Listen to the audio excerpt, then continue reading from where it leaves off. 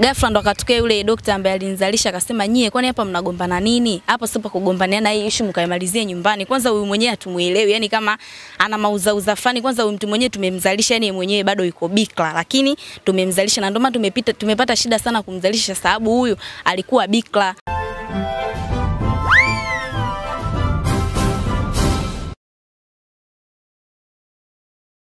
Kutokea katika makao makuu ya Tiki TV jijini Dar es Salaam, tumefunga safari umbali mrefu, na hapa ni Mbinga. Tumekuja kukuletea kisa cha dada ambaye alipata ujauzito katika mazingira ya kutatanisha, na wakati akiwa mjamzito iligundulika kuwa hakuwahi kukutana kimwili na mwanaume yeyote, kwa maana ya kwamba alikuwa ni bikra. Je, ilikuwaje na ujauzito huo ulikuwa ni wa nani, na hivi sasa mtoto yuko wapi? Tunakwenda kuyajua yote hayo kutoka kwake, ila kabla nikukumbushe tu, kila sekunde moja ina thamani kubwa zaidi katika maisha. Hakuna muda wa kuupoteza, bofya subscribe kisha alama ya kengele, tuwe familia moja. Tiki TV kiakili zaidi. Naitwa Kelvin Shayo. Kwa watazamaji wetu, nikupe nafasi ya kujitambulisha.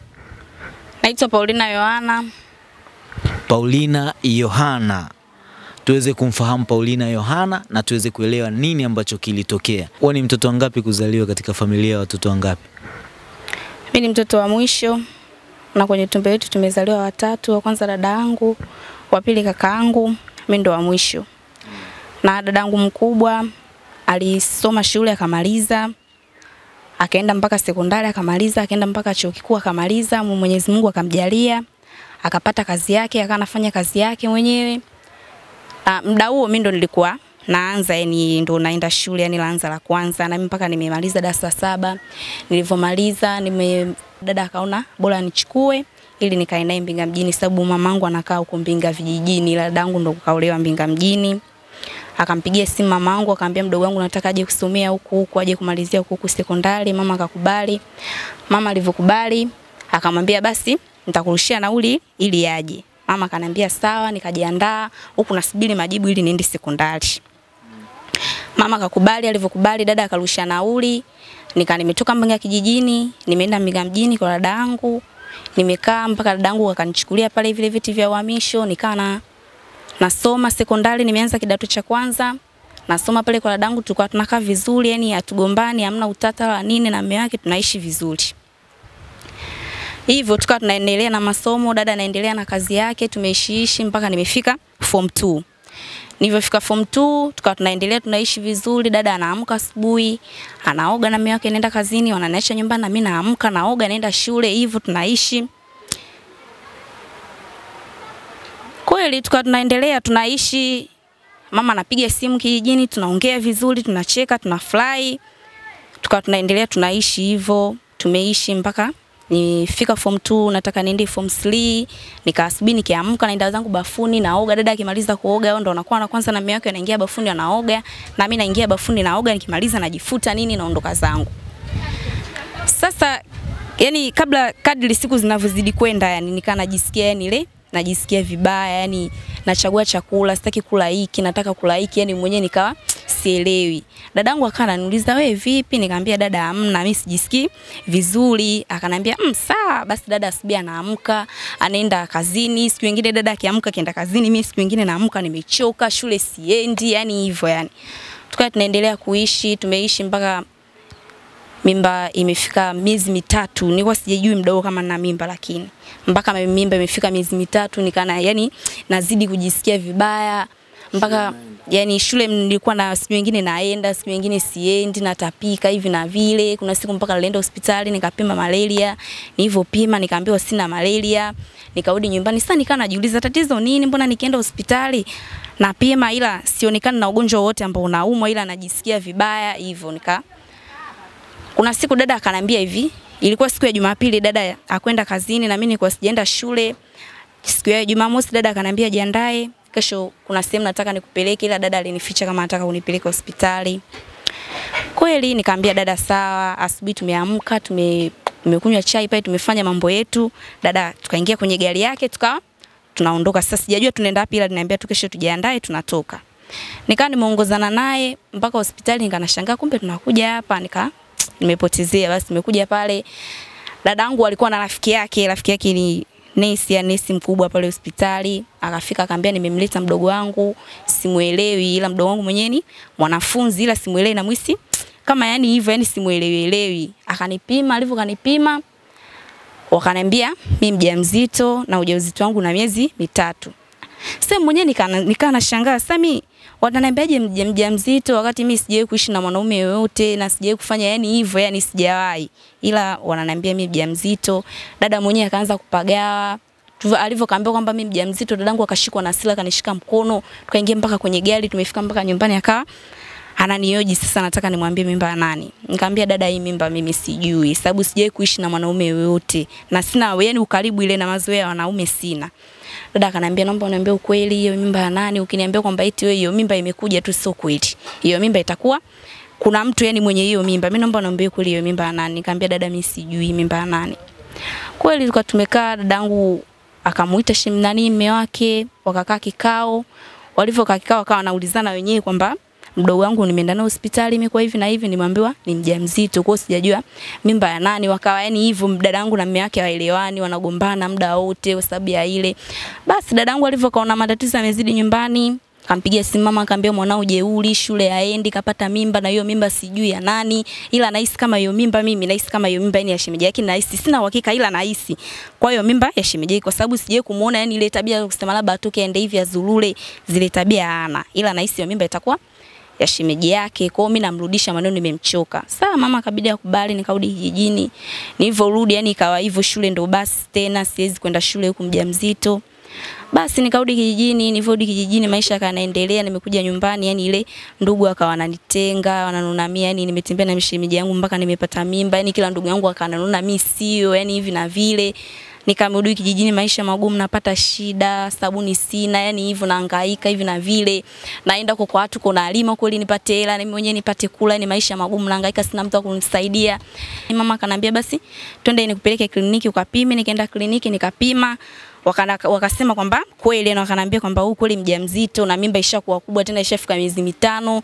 Nikawa sasa naenda ile kliniki, tumefika siku ya kwanza, maana kule madokta ukienda kliniki kama umeenda hivi na mjamzito afu ujaenda na baba unataka kadi ile ya kupimia, madokta huwa wanakataa, yani wanakukatalia, yani wanakufukuza kabisa, hawataki kabisa kusikia hicho kitu. Umeenda kupima ujauzito alafu ujaenda na mwanaume.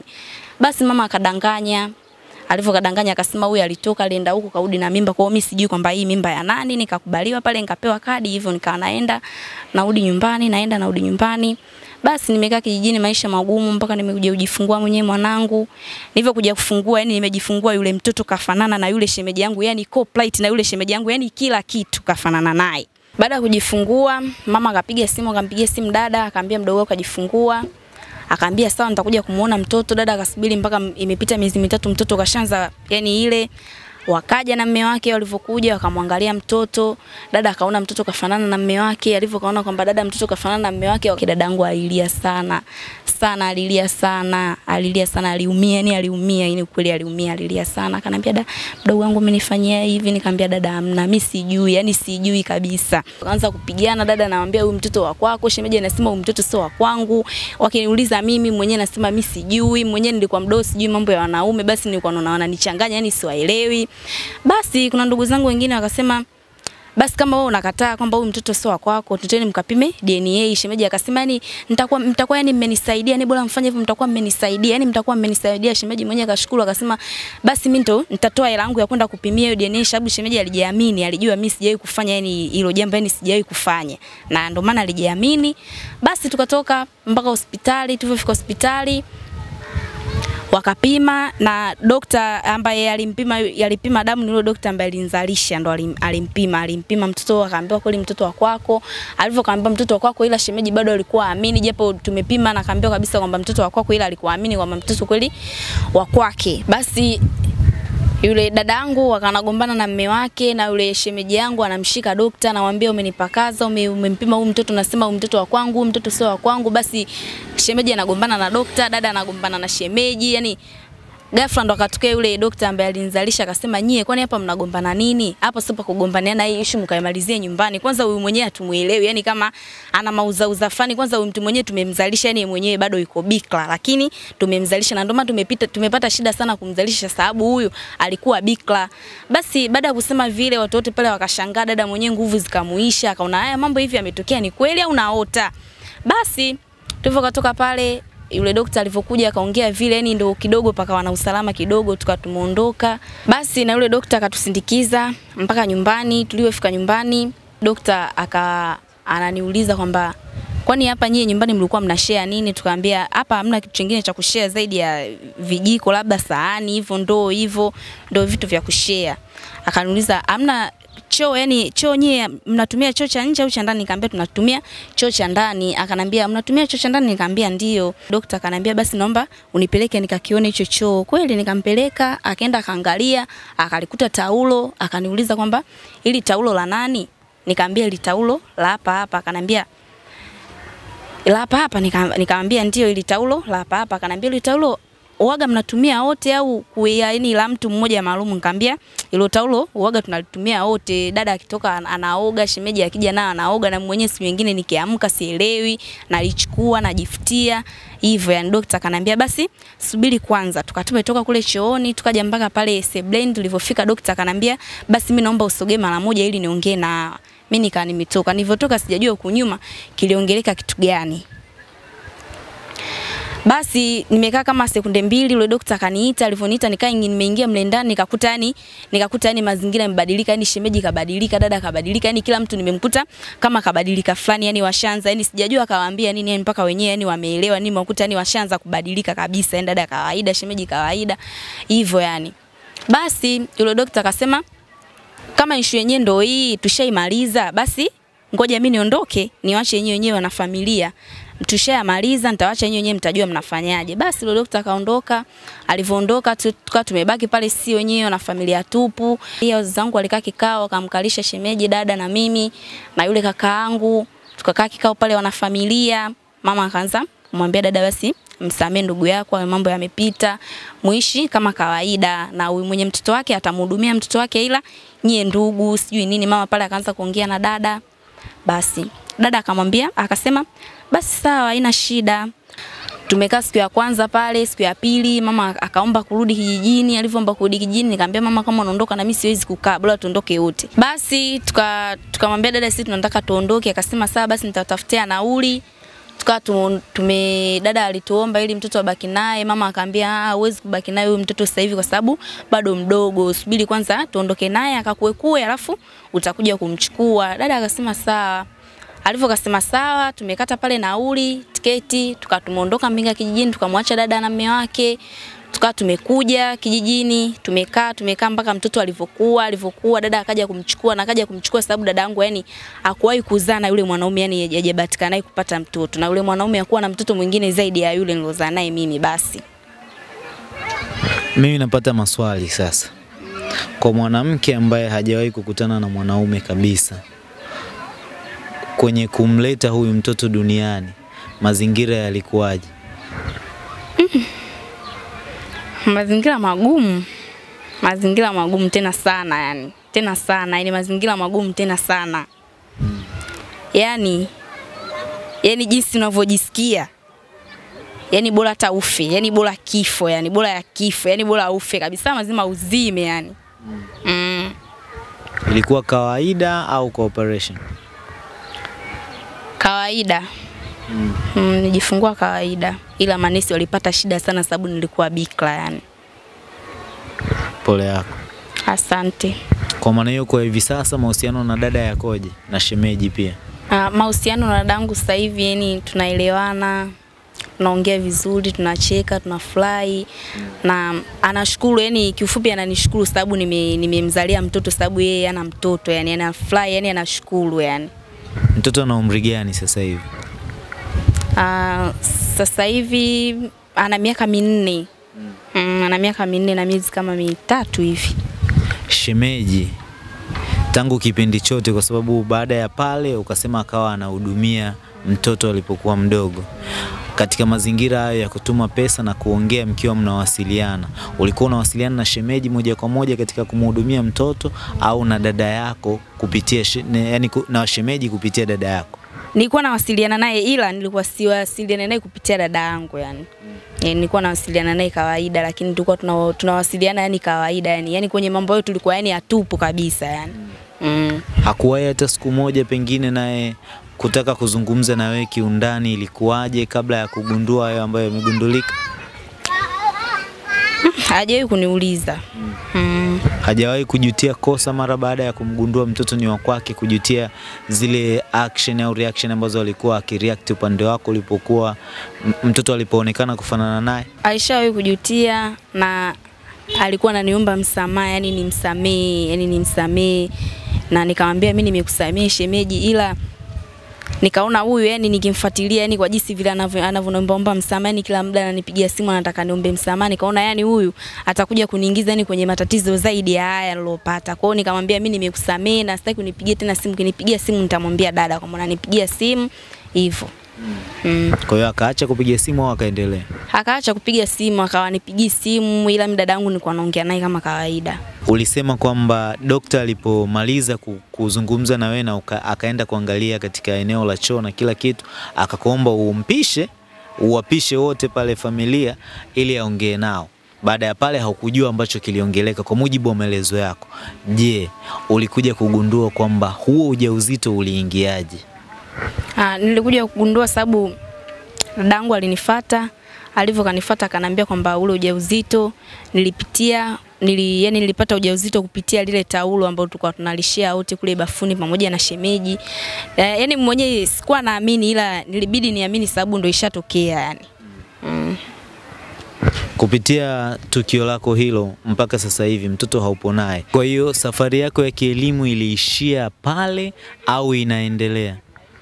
Ah, safari yangu ya kielimu ndo imeishia hapo. Mm. Kwa nini?